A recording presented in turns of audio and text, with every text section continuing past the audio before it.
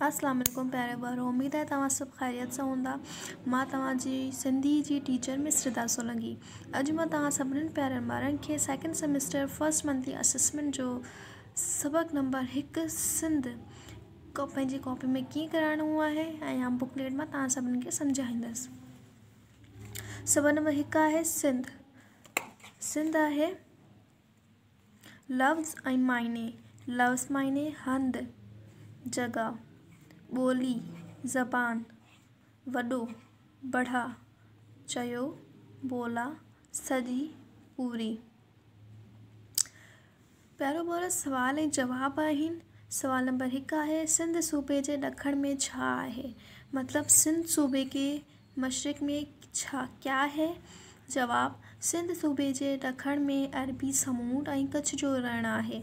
सिंध सूबे के मशरिक़ में अरबी समूंड और कच्छ जो है कच्छ, जो उसका रण मौजूद है। सवाल नंबर ब, सिंध सूबे में घना ज़िला आहिनि सिंध सूबे में कितने ज़िले मौजूद हैं?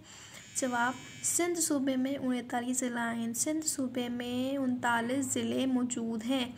सवाल नंबर टे है, सिंध जो वॾे में वॾो शायर केरु आहे सिंध में बड़े में से बड़ा शायर कौन है?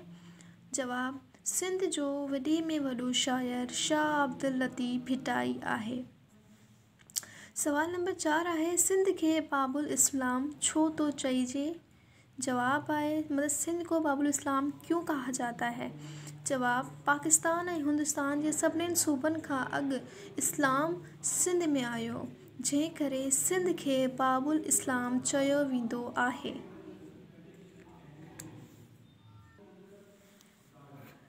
ॾिंगनि माँ लफ़्ज़ चूंडे जुमलनि में खाल भरियो। क्या गया, क्या बोल रहे हैं बच्चों? नीचे दिए गए लफ्ज़ चुनकर जुमले, ये खाल मुकम्मल करनी है। सवाल हिकु आहे सिंध, पाकिस्तान जो देश वारो सूबो आहे। छा ईंदो ॿारो ॾखण। सिंध में देश ज़िला आहिनि उणेतालीह। देश सिंध सूबे जे गादी जो हंधि आहे। कराची। चारि आहे शाह अब्दुल लतीफ़ भिटाई सिंध जो वॾे में वॾो शाइर आहे। छा? शाह अब्दुल लतीफ़ सवा, पंज आहे सिंध के देश नदी आबाद करे थी सिंध कहिड़ी, कौन सी नदी आबाद करती है? सिंधु नदी।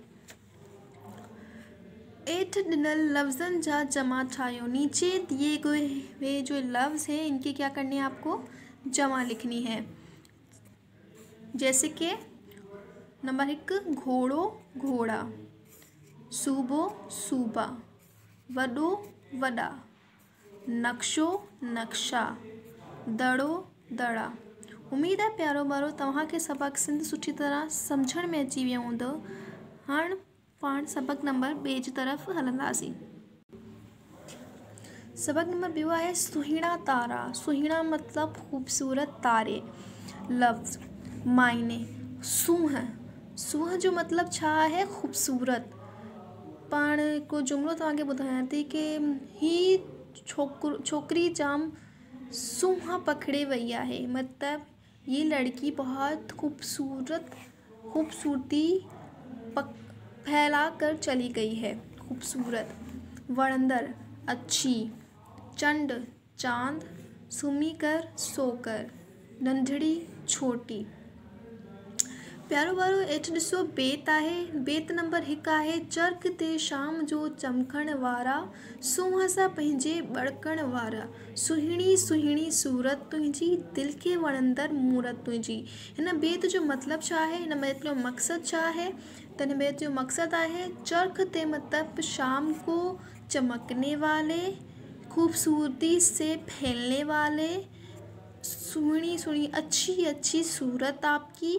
दिल को वणंदड़ मूरत, दिल के, दिल को भाए मूरत आपकी। हेठि ॾिसल तशरी आहे, तशरी में छा हिन बेत शायर शाह फ़रमाए, त जॾहिं चर्ख ते शाम जो तारा चमकण वारा अचनि था त सॼे अर्श में सूंहं बड़की वञे थी। ऐं हू पंहिंजे सुहिणे सुहिणे सूरत सां दिलि खे वणंदड़ मूरत ठाहे थो।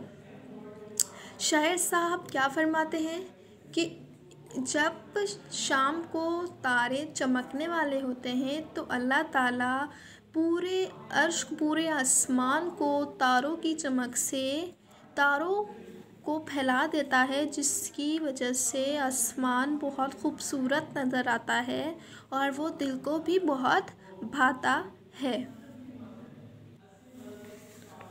बेत नंबर ब है बारो, ॾिसो चरख जी अख जो आहे तारो, चंड जो नंढड़ो बचड़ो प्यारो।